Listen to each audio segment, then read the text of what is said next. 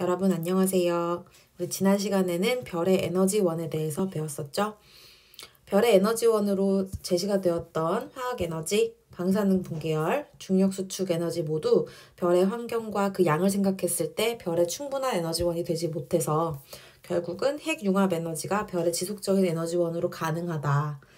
그리고 그렇게 계산할 수 있는 근거를 별의 수명, 이 에너지를 방출할 수 있는 기간을 계산을 함으로써 핵융합 에너지가 가장 지속적으로 별의 에너지원이 될 수 있다는 거를 우리 지난 시간에 직접 계산을 해봤죠. 그럼 오늘은 핵융합 에너지가 구체적으로 어떻게 발생을 하는지에 대한 기작을 자세하게 배워보도록 합시다. 자, 그러면 우리 제일 먼저 수소 핵융합 반응에 대해서 알아보도록 합시다. 자, 여러분 핵융합 반응에 여기 앞에 수소라는 말이 붙잖아요. 핵융합 반응 앞에 붙는 이 말은 반응물일까요? 아니면 생성물일까요? 그렇죠. 자, 우리 앞에 붙는 말은 반응물을 의미를 해요. 즉 수소핵 융합 반응은 수소가 재료가 되어서 헬륨을 만드는 반응. 헬륨 핵 융합 반응이라고 하면 뭘까요? 헬륨이 만들어지는 반응이 아니라 헬륨이 재료가 되어서 다른 원소, 즉 우리는 탄소라고 알려져 있는데 탄소를 만드는 반응을 헬륨 핵 융합 반응이라고 해요. 그래서 수소 핵 융합 반응은 수소 원자핵이 뭔가 뭉쳐서 더 무거운 원자핵을 만드는 방, 반응을 수소 핵 융합 반응이라고 한다. 이걸 꼭 기억을 해 놓으면 됩니다. 자, 먼저 밑에 그림을 한번 봅시다, 여러분.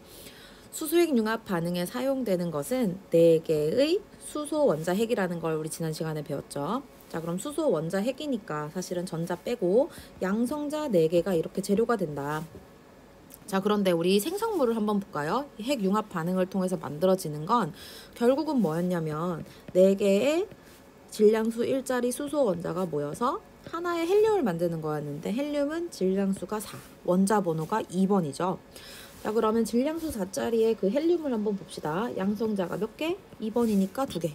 질량수가 4여야 하니까 중성자가 2개. 이런 상황이에요.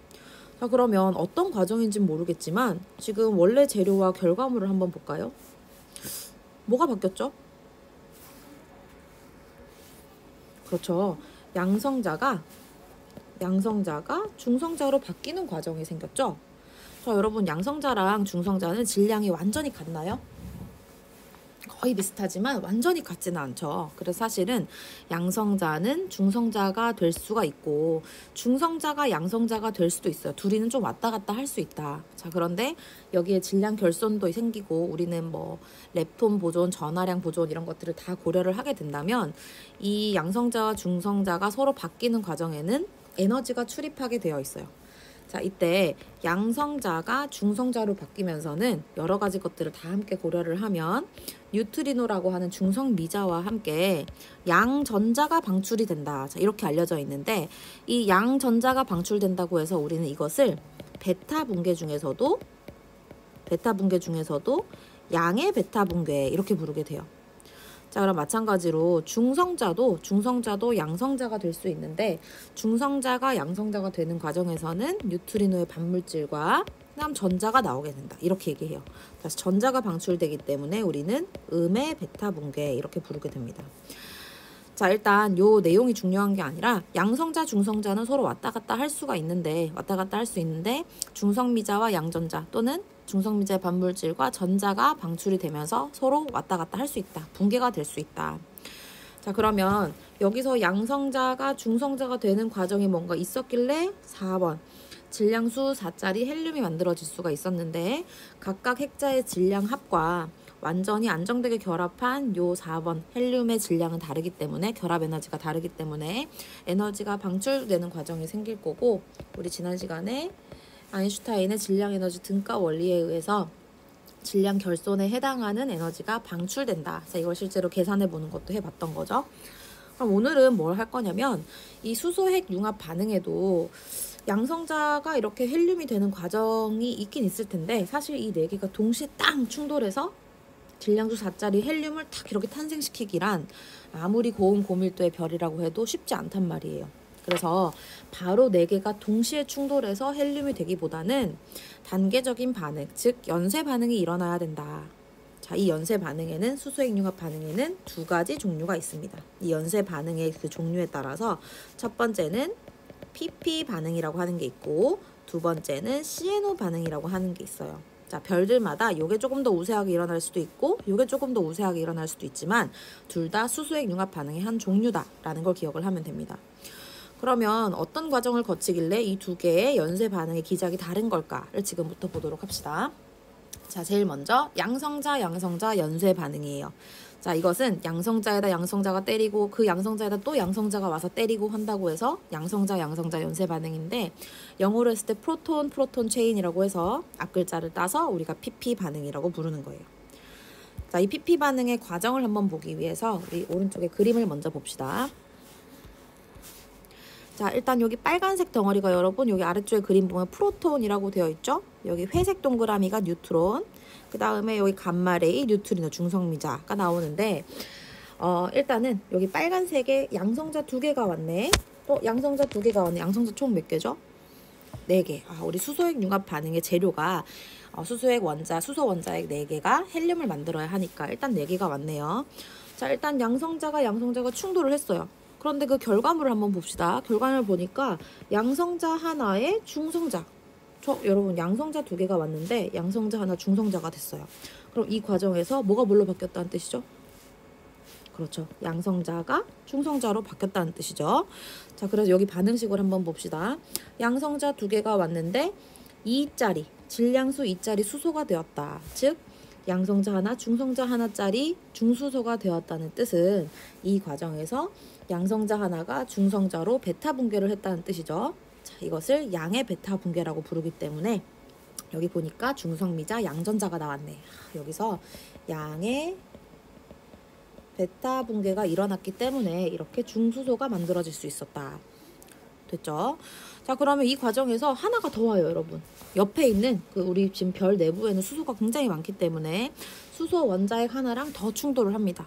자, 그럼 이때 충돌을 한 결과물을 볼까요? 결과물을 보니까 양성자 두 개와 중성자 하나가 왔죠? 자, 여기에 있는 반응물을 그대로 써서 예쁘게 결합을 했네. 자, 근데 이 결합을 하는 과정에서는 각각 핵자의 질량 합과 이 완전히 결합을 했을 때 질량이 다르기 때문에 이 질량 결손에 해당하는 에너지가 방출이 되겠죠. 자, 근데 여기 똑 오른쪽도 똑같습니다, 여러분. 같은 음, 같은 반응이 일어나면서 지금 이렇게 물질이 만들어졌어요. 자, 그럼 여러분 지금 만들어진 물질은 양성자가 몇 개죠? 양성자가 두 개. 중성자가 몇 개죠? 중성자가 하나. 자, 그럼 질량수는 3이지만 양성자가 두 개이기 때문에 원자본에 의해서 이 물질은 뭘까요? 그렇죠. 헬륨이죠, 헬륨. 질량수 3짜리 헬륨이 이렇게 만들어지게 됩니다. 이번에는 질량수 3인 3헬륨이 충돌을 하게 돼요. 반응을 하게 돼요.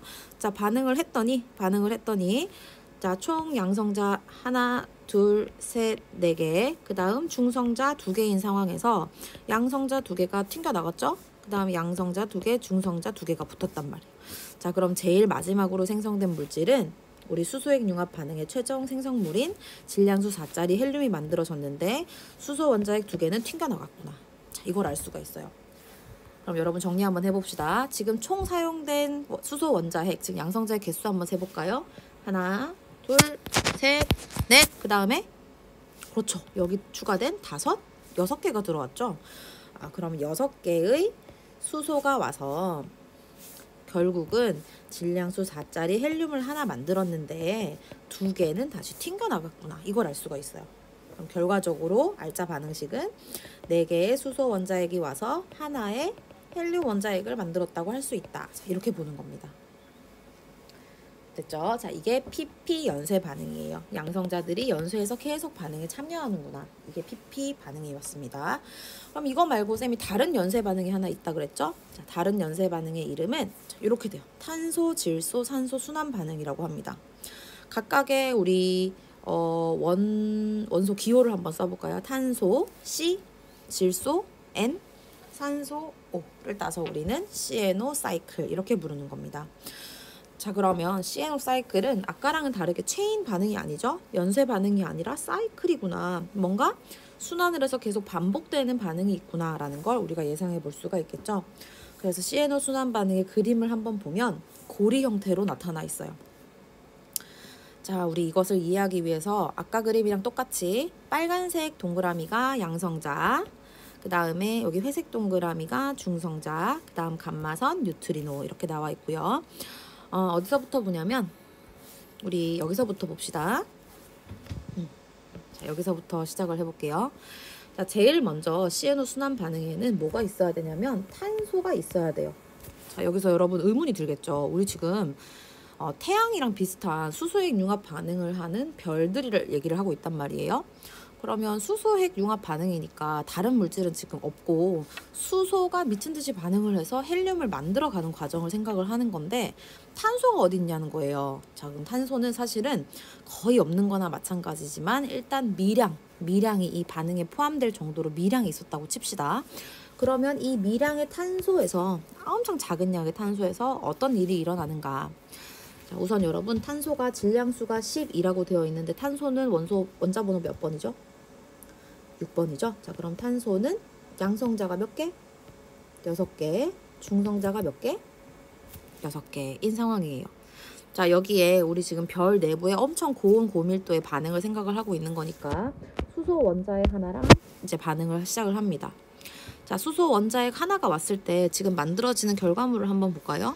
질량수가 13짜리 질소라고 되어 있죠? 자, 근데 여러분 질소는 원자 번호가 몇 번이죠? 7번. 그러면 양성자는 7개. 그런데 질량수가 13이라고 했으니까 중성자는 몇 개예요?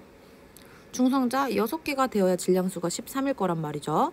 자, 그러면 이 과정에서 이 과정에서 양성자 6개, 중성자 6개짜리 탄소와 양성자 하나, 수소 원자핵 하나가 왔을 때 양성자 7개, 중성자 6개짜리 13 질소가 만들어졌다. 이런 반응이 가능하죠. 마찬가지로 질량 결손에 해당하는 에너지가 방출이 되게 될 거예요. 그 다음 13 이 질소에서 13 질소에서 어떤 일이 일어났는지를 보냐면 어, 13 질량수 13짜리 탄소가 됐네. 이걸 볼까요? 자, 여러분 탄소는 원자 번호 6번 양성자 6개. 질량수가 13으로 유지가 됐네. 그럼 줄, 중성자 수가 7개여야만 질량수가 13일 텐데 무슨 일이 일어난 거죠, 여러분? 무슨 일이 일어난 거죠? 그렇죠. 원자 번호가 하나 줄면서 7개에서 6개가 되면서 중성자가 하나가 늘어서 질량수가 보존이 되었죠. 어떤 일이 일어났냐면 양성자 하나가 중성자로 바뀌었나 보다. 자, 여러분 이제 기억나죠? 양성자 하나가 중성자로 바뀌는 과정은 뭐라고 한다? 양의 베타 분계라고 한다. 자, 그 과정을 우리 왼쪽 식에서 찾아볼까요? 왼쪽 식에서 찾으니까 여기 있죠? 아, 13질소가 13탄소가 되어서 질량수는 그대로 있으면서 원자 번호가 하나가 내려갔다. 즉 양성자가 중성자로 하나 바뀌는 양의 베타 분계가 여기서 일어났길래 양전자와 뉴트리노가 나왔구나. 여기까지 이해가 됐죠? 그럼 다음 넘어갑시다. 그 다음에 얘 이 과정에서 또다시 수소 원자핵 하나가 와요. 양성자랑 충돌을 합니다. 자, 그럼 양성자가 오면서 만들어진 결과물을 보니까 이번에는 질량수가 14인 질소네요. 그러면 똑같은 과정을 통해서 우리 양성자가 7개, 중성자가 7개인 14질소가 만들어졌다. 자, 그러면 양성자 6개, 7개인 13탄소가 양성자 하나를 받아서 양성자 7개, 중성자 7개짜리 안정한 질소를 만들었으니까 이 질량 결손에 해당하는 에너지 방출하고 이런 물질이 만들어진다. 다시 수소 원자핵 하나가 부딪히면서 이번 뭐가 되냐면 15짜리 산소가 됐네요. 자, 양성 어, 양성자 산소 번호 8번, 중성자 7개가 되어야 15 질량수의 산소가 될 텐데 양성자 하나를 받았으니까 여기서 하나가 추가돼서 8에서 8, 7. 아, 요것도 예쁘게 결합을 하면서 이렇게 에너지를 방출하는 과정. 자, 그 다음 과정을 봅시다. 어, 이번에는 15 질량수를 가진 산소가 15 질소가 됐네요. 어, 질량수는 똑같은데 원자 번호가 하나 내려갔죠. 여기 적어봅시다. 질소니까 양성자는 7개, 중성자는 질량수 15를 만족시키기 위해서 8개. 자, 그럼 여기도 마찬가지네요, 여러분. 어떤 과정이 있었을까요? 그렇지. 양성자 하나가 중성자로 바뀌는 양의 베타 분계가 또 일어났다는 뜻이죠. 아니나 다를까 중성미자 나오고 그 다음에 포지트론 나오고 여기 있네요. 그래서 여기서도 양의 베타 분계가 한번 일어나면서 산소가 질소로 바뀌는 과정이 생겼습니다. 마지막 이번에는 질량수 15짜리 질소가 수소 원자핵 하나랑 다시 만나서 반응을 시작합니다. 자, 그러면 우리 여러분 더 해볼까요? 아까 양성자 7개, 중성자 8개였는데 양성자 하나가 왔으니까 우리는 양성자 8개, 중성자 8개가 있을 거예요. 자 그러면 어, 선생님 16짜리 산소가 되는 거 아닌가, 아닌가요? 이렇게 생각할 수 있겠죠. 자, 물론 산소가 되는 반응도 있겠지. 하지만 산소가 되는 반응보다도 우린 지금 CNO 순환 반응의 기작을 이해를 하는 거기 때문에 이게 어떻게 다시 갈릴 수가 있냐면 이 원재료를 가지고 우리가 이렇게 만들 수가 있다는 뜻이에요. 양성자 두 개, 중성자 두 개짜리 물질 하나 만들고 그 다음에 또 뭐 만들 수 있어요? 8개, 8개가 있었으니까 양성자 6개, 중성자 6개짜리 탄소를 만들 수가 있을 거 아니야. 그죠? 자, 그래서 질량수 4짜리 헬륨 하나 만들고 그 다음에 질량수 12짜리 탄소로 다시 돌아갈 수가 있겠죠. 자, 그럼 여러분 지금 최종적으로 최종적으로 여기에 어, 반응을 했던 반응을 했던 우리 재료인 수소 원자의 개수 한번 세봅시다.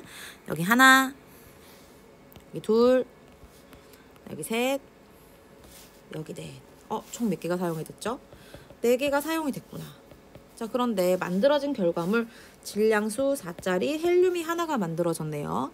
자, 근데 그 과정에서 그 과정에서 어떤 물질이 사용이 됐었냐면 산소도 아, 탄소가 들어왔다가 탄소가 질소도 됐다가 산소도 됐다가 다시 또 질소가 됐다가 산소도 됐다가 질량수도 바뀌고 원자 번호도 바뀌면서 아, 이런 수많은 과정을 거치지만 결국은 진짜 반응에 참가하는 건 수소랑 헬륨이고 사실은 여러 모습으로 변신을 하긴 하지만 이 과정에서 미량으로 포함되어 있던 산소는 다시 원래 상태로 되돌아오게 되죠.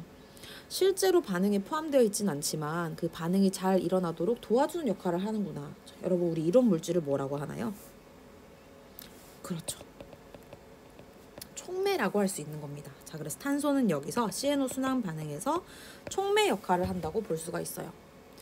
자, 그럼 선생님이 제일 처음에 우리 CNO 순환 반응을 할 때 이 탄소가 아주 미량이지만 있을 수가 있다. 이렇게 가정을 했잖아요. 그죠? 실제로 별 안에 아주 미량이지만 탄소가 있기만 한다면 CNO 순환 반응이 유지될 수 있는 이유가 뭘까요? 그렇습니다. 바로 탄소가 촉매 역할을 하기 때문이에요. 탄소는 아주 미량만 있기 때문에 정말 미량의 탄소만 있기만 하면 있기만 한다면 이 양은 소모가 되지 않고 보존이 될 수가 있겠죠. 그래서 탄소는 소모되지 소모되지 않고 아이고 다시 죄송합니다. 탄소는 탄소는 소모되지 않고 그 양이 어, 왜 이러죠? 그 양이 보존될 수 있기 때문에 아주 미량의 탄소만 있어도 촉매 역할만 잘 해준다면 CNO 순환 반응이 굉장히 활발해질 수 있다. 자, 이것을 우리가 이해할 수 있습니다.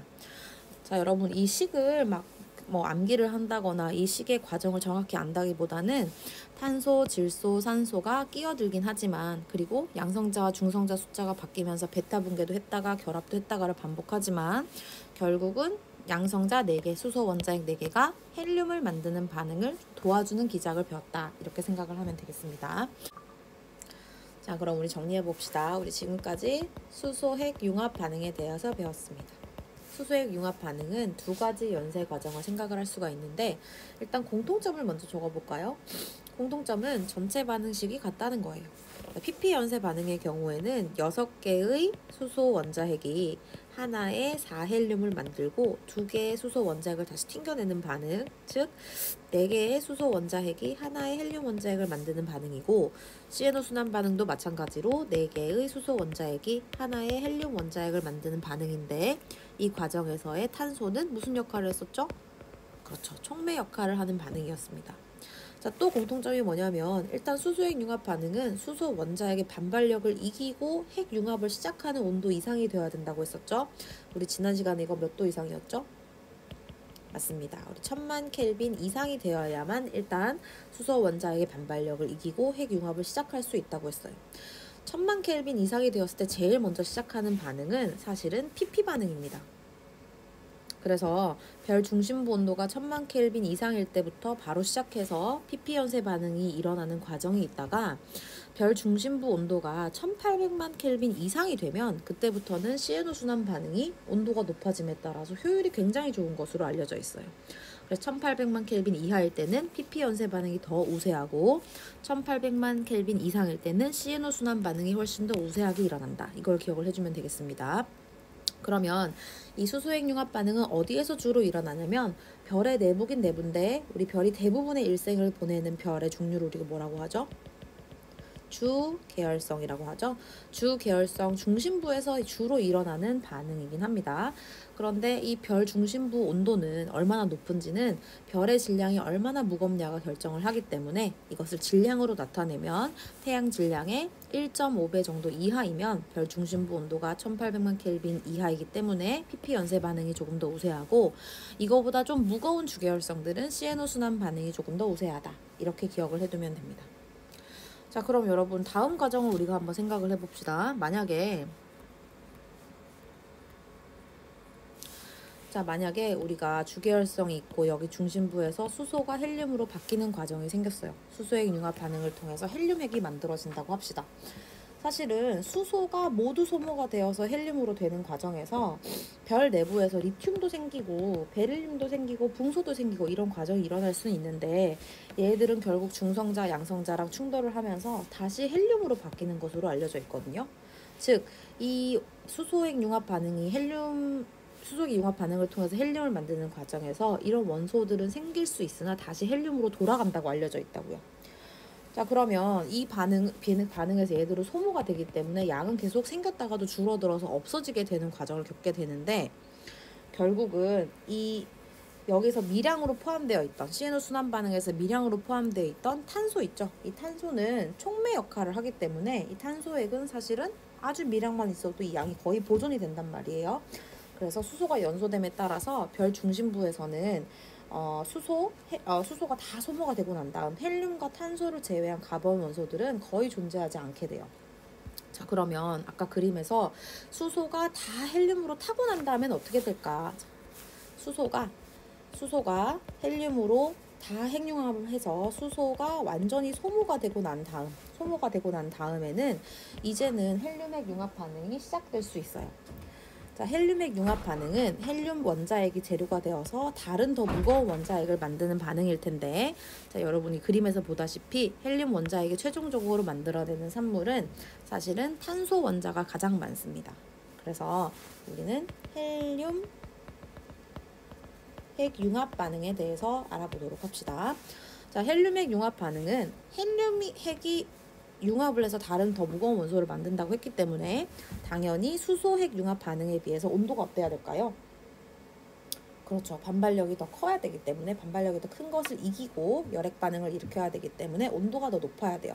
그 온도는 약 10의 8승 켈빈으로 알려져 있어요. 즉 1억 켈빈 이상이 되어야만 그 정도로 고온이 되어야만 헬륨핵 융합이 일어나는 것으로 알려져 있어요. 자 그럼 이 과정을 한번 봅시다. 일단 헬륨 원자핵이 몇 개가 왔죠? 하나, 둘. 어, 이 두 개가 충돌을 하는 과정에서 4헬륨, 4헬륨이 여기에 베릴륨을 만들었네요. 자, 그런데 여기 있는 베릴륨은 사실은 굉장히 불안정해요. 질량수 8짜리 베릴륨 굉장히 불안정해서 다시 이렇게 두 개로 쪼개지기가 너무 쉬운데 이 쪼개지기 직전에, 쪼개지기 전에 여기에 있는 4헬륨과 반응을 할 수가 있다면, 반응을 하게 된다면 12 질량수를 가진 탄소가 되면서 엄청나게 에너지를 많이 방출을 하는 것으로 알려져 있어요. 자, 그럼 결국 우리 알파 입자라고 불리는 헬륨 원자핵이 몇 개가 왔죠? 하나, 둘, 세 개가 와서 12질량수를 가진 탄소를 만드는 반응을 하게 되죠. 그래서 우리는 알파 입자가 세 개다라고 해서 이 헬륨 핵 융합 반응 중에 가장 먼저 시작되는 과정을 연쇄 과정을 3알파 과정이라고 불러요. 우리 한글로 번역을 해서 3중 알파 과정 이렇게 부르기도 합니다. 자, 훨씬 더 높은 온도에서 일어날 수 있다. 그 다음 세 개의 헬륨 원자액이 하나의 탄소 원자액을 만드는 반응이 더 고온의 내부, 별 내부에서 일어날 수 있다. 자, 이거를 기억을 하면 됩니다. 자, 그럼 빈칸 한번 채워볼까요? 헬륨 핵 융합 반응은 별의 내부 온도가 1억 켈빈 이상이 되면 중심부 헬륨 원자액 3개가 하나의 탄소 원자액을 만드는 반응이다. 자, 그러면 그 이후에는 어떻게 될까요, 여러분? 자, 그 이후는 쌤 PPT에는 따로 나와 있지 않지만 여러분 프린트 16쪽을 한번 같이 보면 되겠어요. 16쪽에 질량이 큰 별은 중력 수축에 의해 중심부 온도가 더 높아지기 때문에 헬륨보다 무거운 원소들의 핵 융합 반응이 일어날 수 있다고 되어 있는데요. 큰 별일수록 중심부 온도가 높기 때문에 그럼 결국 질량에 따라 중심부 온도가 달라지므로 핵 융합 반응이 어디까지 진행될 것인가는 별의 질량에 따라 결정이 되게 되는 거예요. 자, 여러분 그 밑에 표를 한번 보세요. 표를 보면 수소의 융합 반응을 통해서 헬륨이 만들어지고 우리 방금 헬륨 융합 헬륨액 융합 반응을 통해서 탄소가 만들어진다고 되어 있는데 탄소 말고 산소가 만약에 산물이 될 수 있다면 이 탄소와 탄소와 산소가 만나서 사실 네온이라는 물질도 만들어낼 수 있어요. 탄소핵 융합 반응도 일어날 수 있고 그다음 네온핵 융합 반응이 일어나고 그다음은 산소핵 융합 반응이 일어나고 규소핵 융합 반응 점점점 원자 번호가 크고 무거운 핵 융합 반응을 하다가 규소핵 융합 반응을 통해서 주요 산물의 여러분 표를 보면 철 근처의 원소들이라고 돼 있을 거예요. 자 그러면 점점 더 무거운 원소를 만들게 되면 더 무거운 원소를 계속 만들 수 있을 것 같은데 그 한계는 철까지예요, 여러분. 그럼 왜 철이 가장 가장 무거운 원소, 즉 별에서 만들 수 있는 최후의 핵 융합 산물일까? 자, 여러분 떠오르는 게 좀 있나요? 맞습니다. 사실은 철보다 무거운 원소가 만들어지기 위해서는 에너지가 공급이 되어야 돼요. 자, 이건 여러분 우리 화학에서 배우나요? 핵자당 결합 에너지 혹은 핵자당 결 질산에 대 질량에 대해서 여러분이 좀 공부를 해보면 왜 철이 가장 마지막 핵융합 산물이 되는지 알 수 있을 거예요.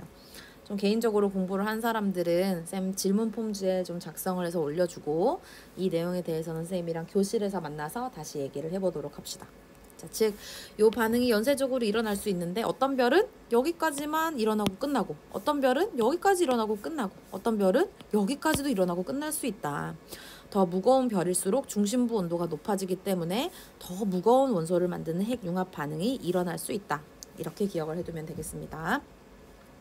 자 그러면 우리 오늘 여러분 수소핵 융합 주로 수소핵 융합 반응 그 다음 헬륨핵 융합 반응에 대해서 배웠네요. 자 대표적인 수소핵 융합 반응에는 PP 반응 그리고 CNO 사이클에 대해서 배웠고 헬륨 반응 1억 켈빈 이상이 되었을 때 일어나는 3중 알파 과정에 대해서 배웠습니다. 우리 문제 한번 풀어보고 마치겠습니다. 자 문제는 문제 프린트 문제 프린트 새로 나눠준 문제 프린트 3쪽에 8번 9번 같이 한번 풀어봅시다. 자 8번 그림 가는 어느 수소핵 융합 반응을 나는 수소핵 융합 반응의 두 종류에 대해서 나타난 것이다. 자 그런데 중심 온도에 따른 에너지 생성률이라고 했을 때 중심 온도가 낮을 때 제일 먼저 시작되어서 진행되는 반응이 있고 온도가 조금 높을 때 시작되어서 온도가 높아질수록 효율이 훨씬 더 좋아지는 반응이 있네요. A가 뭘까요?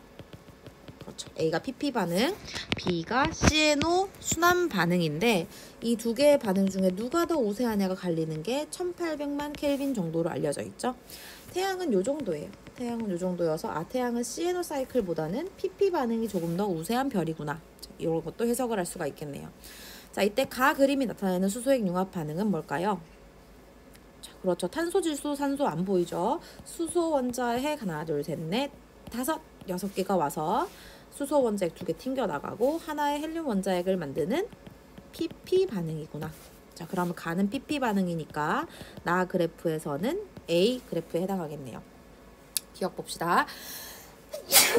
죄송합니다. 가는 PP 반응이다. 맞는 설명. 니은 현재 태양에서는 A보다 B가 더 우세화가 일어난다. 현재 태양에서는 우리 PP 반응은 PP 반응은 태양 질량의 1.5배 이하인 별들에서 더 활발하고 태양 질량보다 1.5 정도 무거운 별에서 시에너 사이클이 더 활발할 정도의 중심 온도를 가지게 된다고 했죠. 자, 그래서 태양에서는